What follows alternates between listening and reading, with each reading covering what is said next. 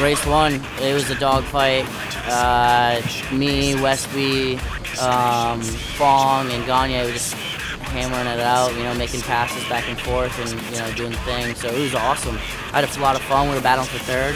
Um, you know, it's really good to be battling for third. Uh, we've been struggling all year and uh, with setup and stuff like that, but we seem to find something. And, uh, you know, the Yamaha boys are riding really, really well. So, you know, they're, uh, we're chasing at the moment. But man, I just had so much fun riding and racing for you know podium spot. It was awesome. Uh, race two was even better.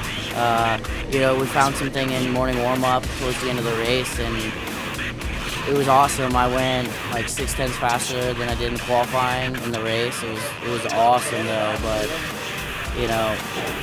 I just had so much fun. I was battling for third again, and it was actually battling for second with Gerloff, and uh, we had a little unfortunate, you know, steering stabilizer blew up and uh, caused us to slow the pace a lot. I just couldn't hang on. Uh, you don't really realize how much you need a steering stabilizer until it's gone.